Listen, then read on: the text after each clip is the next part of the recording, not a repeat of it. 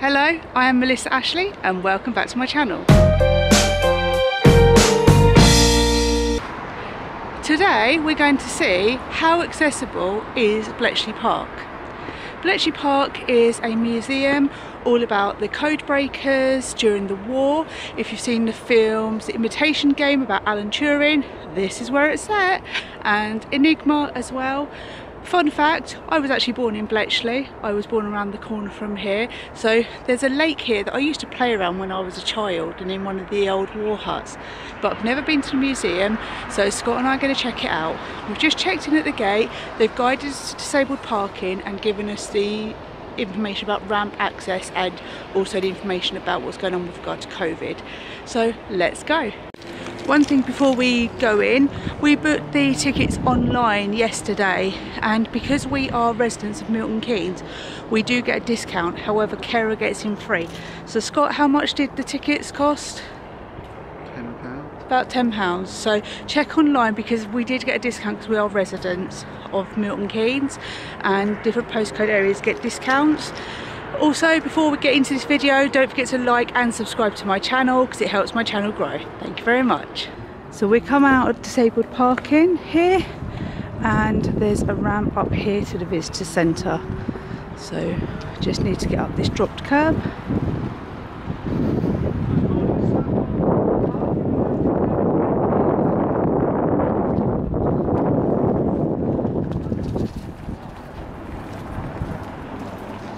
Okay.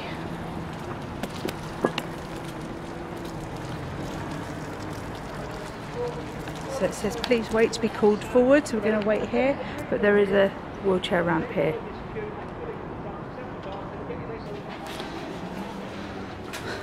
So they're all power assisted doors. And, oh, okay. Can we just come? yeah. So this is an introduction to Bletchley Park video and it has a disabled access here because it's a wider door and it's a film showing.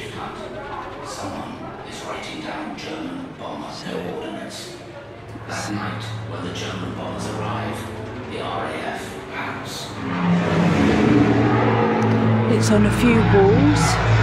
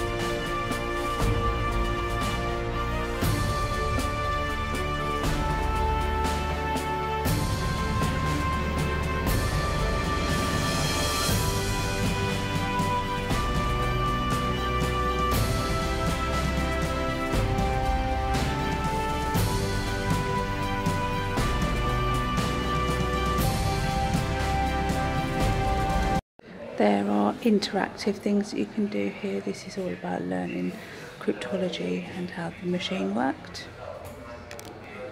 We are in Block C and we've been looking at all different things of equipment and there's interactive things here. It's all quite low level so I could reach or low level horizontal as well and it's all flat flooring here so accessibility is there's no problems at all with it. We've come out of Hut C now and we're just coming along this path to the other buildings. The old wartime buildings. We've also just been given free audio guides as well so I've got it around my neck and the headphones around me so you can stop and listen to information about Bletchley Park and that was given for free and you just drop it off on the way out and you keep the lanyard because they thoroughly wiped over with um, sanitizer the earphones and the um, sort of like the little radio thing. So we're going to go into block B and as you can see it has dis disabled facilities in here And there's the lake just over there that I used to play around when I was a child.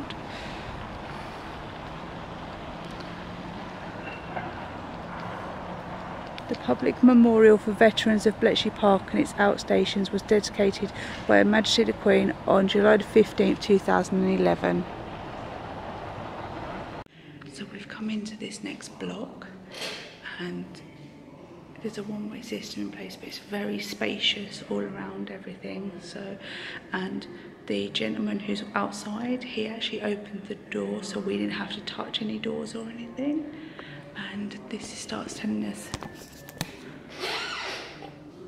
all the information about the code breaking machines. So that's what we're going to have a little read on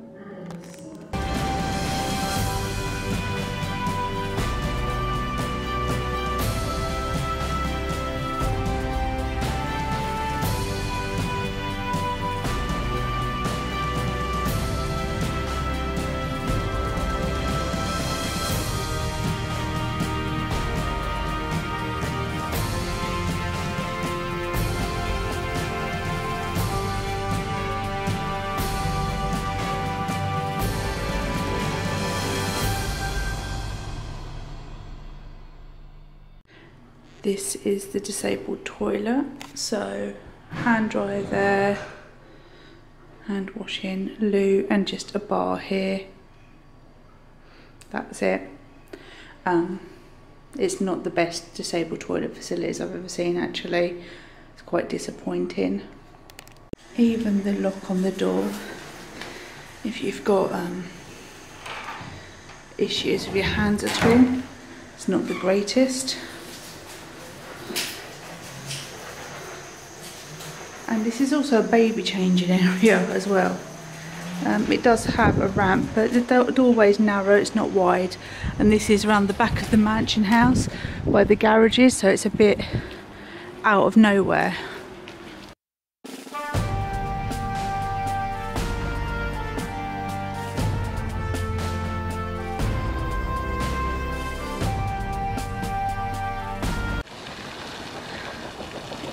It seems weird to me that this is the place that I used to play as a child. Me and my best friend used to go to that part over there with our little fishing nets and fish for minnows and spend all our summers bringing our picnics up here, running around this lake, just playing around. It belonged to British Telecom at the time, they had offices here and we used to come and go as we pleased and as I say it's just so strange that then this complete history became unfurled in front of us about the code breakers when really this was just my playground. We're heading round past the huts and we're going up to the mansion house.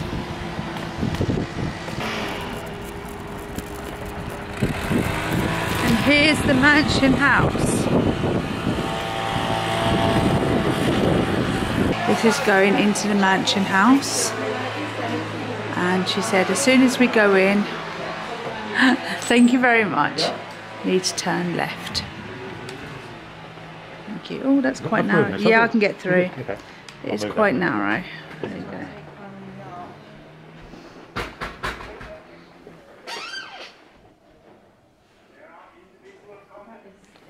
This lead into here? This is obviously someone important's office.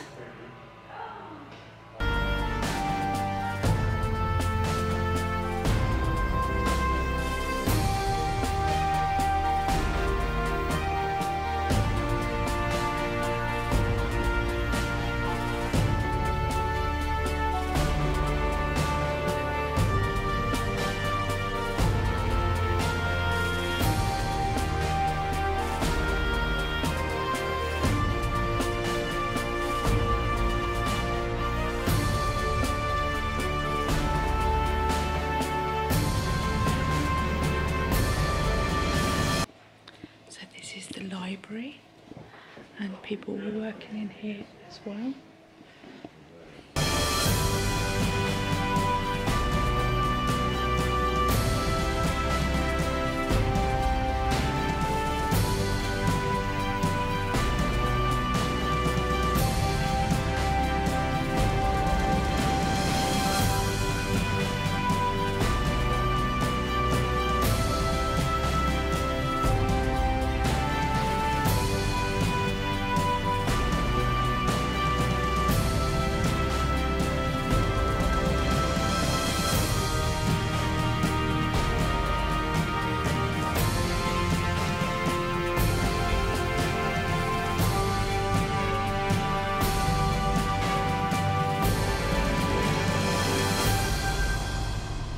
Okay, so hut four is a cafe, which is good because I'm pre-hungry.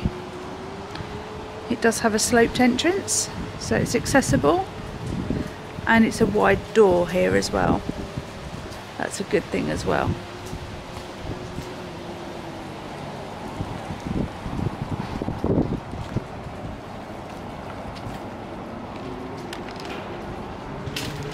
Let's clean our hands. Okay, so cafe. Let's go get some food.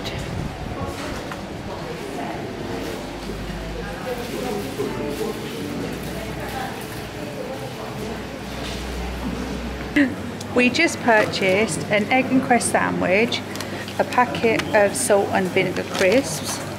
What's this one? Carrot cake? No. And a raspberry and white chocolate um, muffin. And it came to £11.50. We have our own drink with us. We just went in Hut 14 behind us and that was more about modern technology and how it's used to collect data on everyone now and the kind of things that we use that we don't realise is happening. We're in the hut that does the D-Day landings information here and what part Bletchley Park has play in it. So there's all the information places around and then we're going to go and watch a video all about it in a few minutes.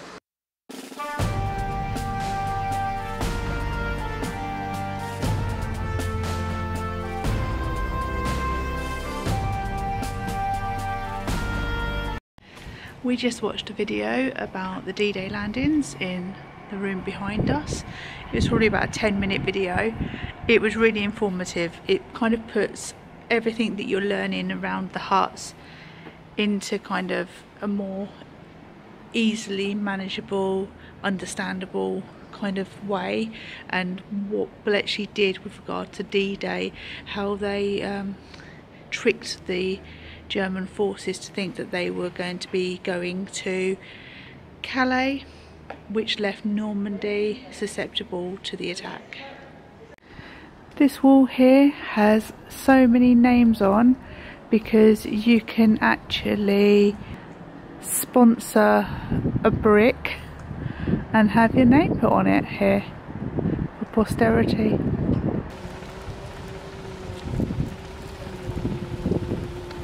the old bike hut. The old fashioned bikes in there. It's all one way, so just follow it through. You'll come out that door there, just go across. Okay, thank you.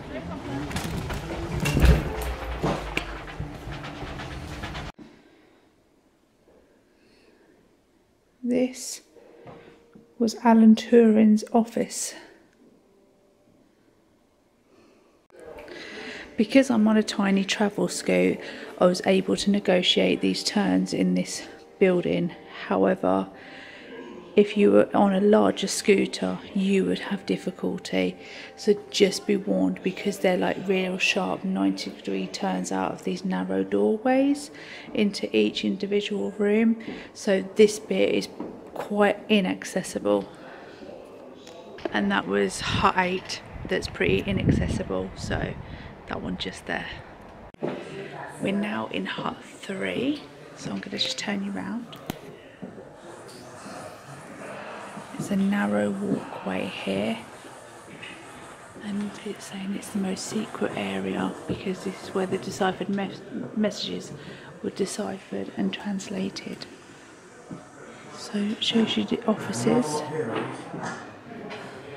and again I'm going to have to do a sharp turn which is why Scott's standing there to make sure that I can. So I'm just standing up for a second. This is an administration and typing room.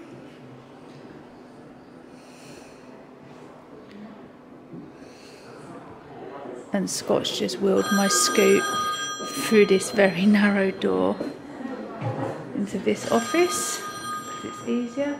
This is the intelligence officer's room. Hmm. There's no doubt about it. These are flight plans for German aircraft escorting supply convoys across the Mediterranean area.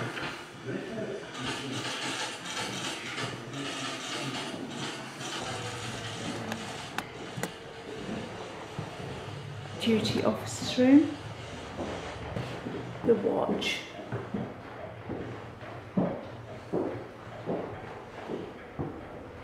Again, because I'm on a travel scoot and I can get up from it, we were able to manoeuvre around that hut. If you were in anything bigger or in a wheelchair, the doors are not electric, you've got to try and swing around difficult angles and things. You've got to remember these are wartime huts and they're there for historical reasons so you can't be expecting them to change up for dis disabled facilities or accessibility because otherwise they wouldn't be keeping the authenticity of the original huts. This is going up into hut 11A. This one's definitely more accessible. It has electric doors and easier, wider spaces. So 11A definitely more accessible. This one is all about the Enigma machine and the parts. By 1939, these pathways were getting more complicated. This is a replica of the Bombe machine that Alan Turing created to help decrypt the messages quickly for the Allies. We're in hut 11. It's very low ceiling.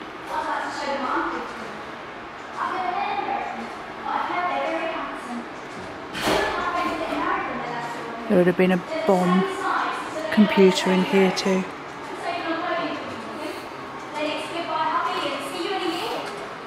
It's where the Wrens would have worked.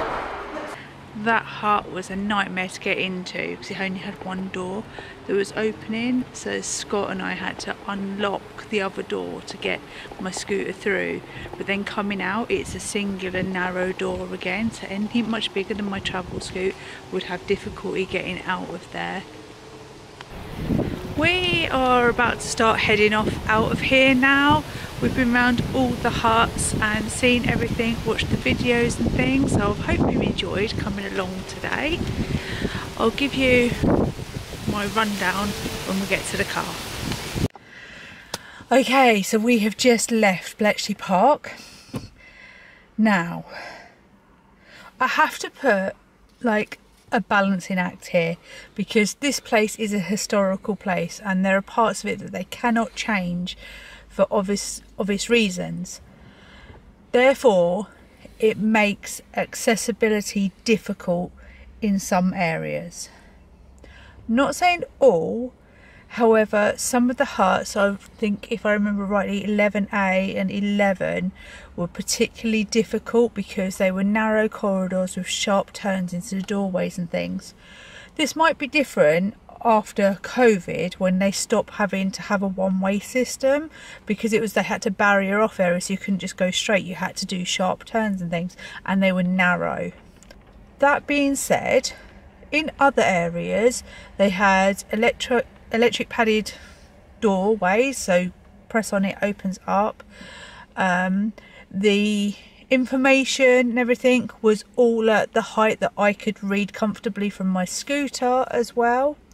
I visited one toilet facility which was around the back of the mansion house which wasn't particularly great there was supposed to be other disabled toilet facilities elsewhere. In one of the huts that I asked where it did advertise that there was a disabled toilet, they told me that it was closed, it was currently out of order. But there was no information to tell you that. So they could have improved more on that. So for how disabled accessible is Bletchley Park, I'm going to give it a 6 out of 10 that's our visit finished. Before I just end this video, I want to say if you do buy a ticket to Bletchley Park, it is actually for the year. You can return during the year as many times you like with that ticket. It's not just for the one-off visit. So if you don't feel like you can get it all done in one day, you can come back. I hope you enjoyed this video. Please give it a thumbs up and subscribe down below. And I'll see you all soon. Lots of love. Bye-bye.